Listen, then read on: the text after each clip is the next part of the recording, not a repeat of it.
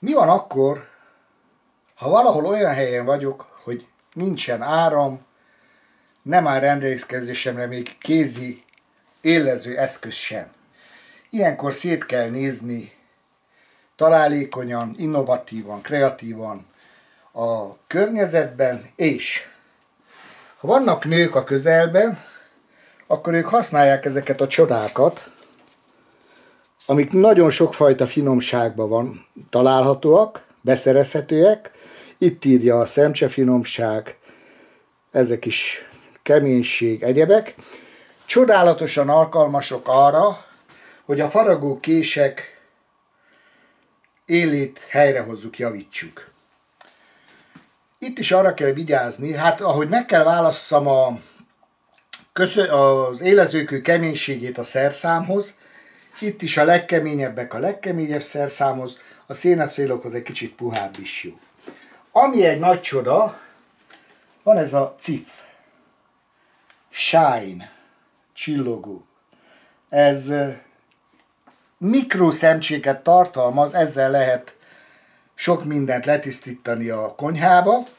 Ha ráteszem egy márványra, most nincs márványom, akkor itt egy pici olyan réteget, olyan réteghez jutok, ami már is élező.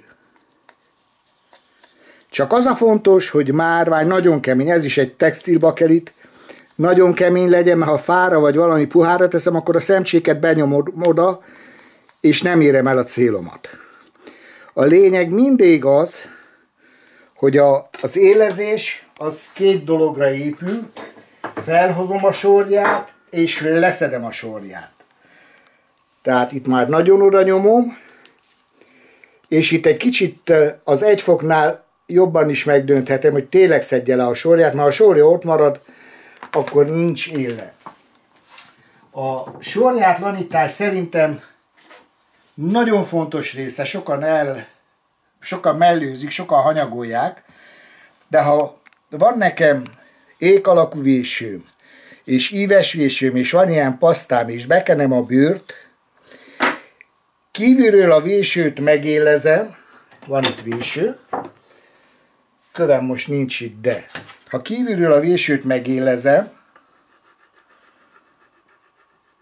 ha ék alakú ugyanígy, és belül ezzel sorjátlanítom egy hozza közeli átmérővel, míg a végén ezzel is húzok rajta egyet, akkor elértem azt, ami a célom volt, és vágni fog a szerszám.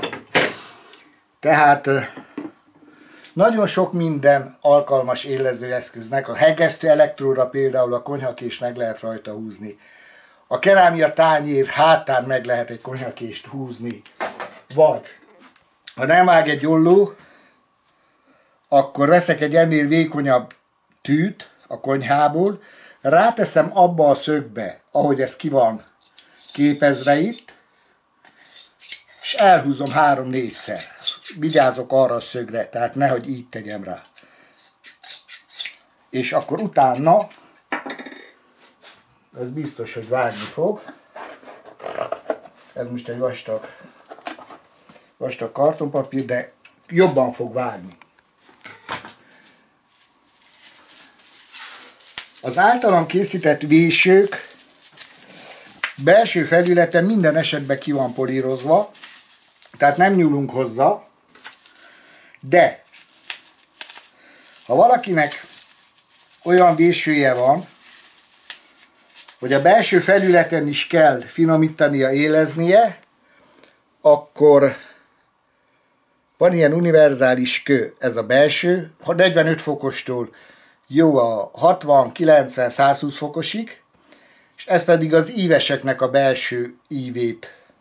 Ez a kicsiknek, ez a kisebbeknek, és ez a nagyobbaknak. Tehát ha egy ilyen kövünk van, és nincs köszörökő a közelbe, akkor ezzel nagyon sokat tudok élezni. Itt persze a késeket, meg az egyenes vésőket, és akár még a gyalukést is egy picit így tartva.